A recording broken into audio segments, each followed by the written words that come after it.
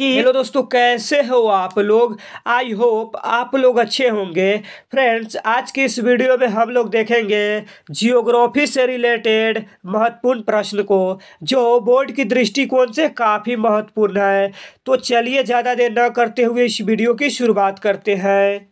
हम लोग के सामने फ़र्स्ट क्वेश्चन है कि निम्नलिखित में से भारत में पुरुष प्रवास का प्रमुख कारण कौन सा है? यानी पुरुष अपनी मातृभूमि को छोड़कर किसी दूसरी मातृभूमि में क्यों जाते हैं? ऑप्शन ए है विवाह के कारण, ऑप्शन बी है शिक्षा के कारण, ऑप्शन सी है काम और रोज़गार के कारण और ऑप्शन डी है व्यवसाय के कारण। तो इसका करेक्ट आंसर है ऑप्शन नंबर सी, काम और रोज़गार के कारण। यानी जो पुरुष है ना काम और रोज़गार के कारण ही अपनी मातृभूमि को छोड़कर किसी दूसरे देश या किसी दूसरे राज्य में जाता है। अगला प्रश्न है कि मानव भूगोल का जनक किसे कहा जाता है? आपको बता दें कि मानव भूगोल का जनक रैटजेल को कहा जाता है। इसलिए इसका correct answer option number D हो जाएगा। अगला प्रश्न है कि मानव भूगोल क्रियाशील मानव और अस्थायी पृथ्वी के परिवर्तनशील संबंधों का अध्ययन है। यह किसने कहा? यह काफ़ी इम्पोर्टेंट है।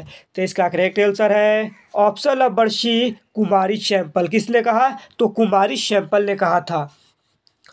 अगला प्रश्न है कि उच्च जनसंख्या वृद्धि दर वाला देश है। ऑप्शन ए है यमन ऑप्शन बी है डेनमार्क ऑप्शन सी है स्पेन और ऑप्शन डी है रूस। तो इसका करेक्ट आंसर है ऑप्शन नंबर ए ए अमन। इसलिए इसका correct answer option number A हो जाएगा। अगला प्रश्न है जनसंख्या वितरण को प्रभावित करने वाले कारकों में सबसे महत्वपूर्ण कारक कौन सा है? तो इसका करेक्ट आंसर है ऑप्शन नंबर ए स्थलाकृति अगला प्रश्न है कि यूरोपवासियों द्वारा अपने उपनिवेशों में किस प्रकार की कृषि का विकास किया गया था? तो इसका करेक्ट आंसर है ऑप्शन नंबर बी रोपण कृषि। फ्रेंड्स यदि आपको किसी भी प्रश्न का उत्तर मालूम हो तो आप कमेंट बॉक्स में लिखकर बता सकते हैं। अगला प्रश्न है कि निम्नलिखित में कौन सा देश विकासशील है? तो इसका करेक्ट आंसर है ऑप्शन नंबर सी नाइजीरिया आपको बता दें कि भारत भी एक विकासशील देश है। अगला प्रश्न है कि निम्नलिखित में कौन मानव विकास के मूलभूत क्षेत्र है? ऑप्शन ए है स्वास्थ्य ऑप्शन बी है संसाधन ऑप्शन सी है शिक्षा, और ऑप्शन डी है उपयुक्त सभी तो इसका करेक्ट आंसर है ऑप्शन नंबर डी उपयुक्त सभी अगला प्रश्न है कि प्रकृति और मानव के बीच पारस्परिक क्रिया का सबसे महत्वपूर्ण कारक कौन है? तो इसका करेक्ट आंसर है ऑप्शन नंबर बी तकनीक। अगला प्रश्न है कि रूस के टुंडरा भाग में रहने वाली आदिम जाति इनमें कौन है? तो इसका एब्सोल्युटली राइट आंसर है ऑप्शन नंबर सी याकृत। चलिए फ्रेंड्स नेक्स्ट क्वेश्चन को देखते हैं। अगला प्रश्न है कि स्वेज नहर जोड़ती है किस से तो इसका करेक्ट आंसर है ऑप्शन नंबर बी भूमध्य सागर को लाल सागर से। साथ ही आपको बता दें कि स्वेज नहर अठारह सौ उनहत्तर ईस्वी में बनकर तैयार हो गया था। अगला प्रश्न है कि पनावा नहर जोड़ता है पनामा नगर को किस से तो इसका सही उत्तर है ऑप्शन नंबर बी कोलोन से आपको बता दें कि पनामा नहर का निर्माण 1914 में किया गया था। कब किया गया था? तो 1914 में किया गया था। अगला प्रश्न है कि विश्व का सबसे लंबा झील जलमार्ग कौन है? तो इसका करेक्ट आंसर है option number D Great Lakes Saint Lawrence जलमार्ग। यानी जो जलमार्ग है ना, विश्व का सबसे लंबा झील जलमार्ग है। अगला प्रश्न है कि निम्नलिखित में कौन सांस्कृतिक नगर है? यानी सांस्कृतिक नगर का मतलब होता है कि वहाँ धर्म का प्रचार प्रसार होते रहता है। तो इसका करेक्ट आंसर है ऑप्शन नंबर ए जेरूशलम अब चलिए अगले प्रश्न को देखते हैं।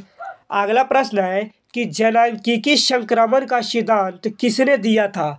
तो इसका सही उत्तर है ऑप्शन नंबर सी नो एस्टीन ने किसने दिया था? तो नो एस्टीन ने दिया था। अगला प्रश्न है कि निम्नलिखित में से कौन सा एक विरल जनसंख्या वाला क्षेत्र नहीं है? यानी वहाँ पे सबसे अधिक जनसंख्या निवास करती है। तो इसका करेक्ट आंसर है ऑप्शन नंबर सी दक्षिण पूर्व एशिया। आपको बता दें कि ध्रुवीय प्रदेश, भूमध्य रखीय प्रदेश और जो अटलांटिक क्षेत्र है ना, यहाँ पे जनसंख्या बहुत कम मिलती है। नेक्स्ट प्रश्न है कि चैनल टनल जोड़ता है किस से तो इसका करेक्ट आंसर है ऑप्शन नंबर सी, पेरिस को लंदन से। अगला प्रश्न है कि मसाई क्या है?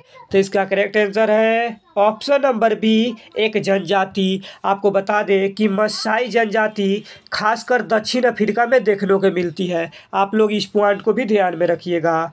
अगला प्रश्न है कि कृषि के लिए इनमें से कौन सबसे अधिक उपयुक्त है?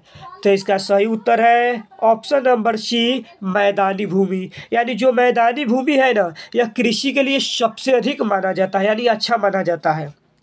अगला प्रश्न है कि कृषि निर्धारण में किस कारक का भारत में ज़बरदस्त हाथ होता है? तो वह है वर्षा। कहा जाता है कि यदि भारत में वर्षा नहीं हो तो कृषि भी नहीं हो सकती है। अगला प्रश्न है कि किस फ़सल की खेती में बुआई के समय कम तापमान चाहिए? यानी उसे बोते समय कम तापमान की ज़रूरत पड़ती है। तो वो है गेहूँ। इसलिए इसका correct answer option number B हो जाएगा। यानी गेहूँ के बोते समय कम तापमान की ज़रूरत पड़ती है। अगला प्रश्न है कि किस फ़सल की खेती पहाड़ी ढालों पर ही की जाती है? तो वो है चाय। जो चाय की खेती है ना, वो पहाड़ी ढालों पर की जाती है। आपको बता दें कि असम राज्य से भारत में सबसे अधिक चाय का उत्पादन होता है। अगला प्रश्न है कि चाय का सबसे बड़ा उत्पादक देश कौन है? तो इसका करेक्ट आंसर है ऑप्शन नंबर बी चीन। आपको बता दें कि चीन के बाद सबसे अधिक चाय का उत्पादन हमारे देश यानी भारत में ही होता है। अगला प्रश्न है कि स्वेज लहर जोड़ती है किस से तो इसका करेक्ट आंसर है ऑप्शन नंबर बी भूमध्य सागर को लाल सागर से। अगला प्रश्न है कि उत्तर अटलांटिक मार्ग जोड़ता है किस से तो इसका करेक्ट आंसर है ऑप्शन नंबर ए उत्तरी अमेरिका को यूरोप से। फ्रेंड्स आज की इस वीडियो में हमने जियोग्राफी से रिलेटेड टॉप ट्वेंटी फाइव प्रश्नों को देखे हैं और ऐसे ही वीडियो देखने के लिए हमारे चैनल को सब्सक्राइब करना न भूलें। तब तक के लिए जय हिंद।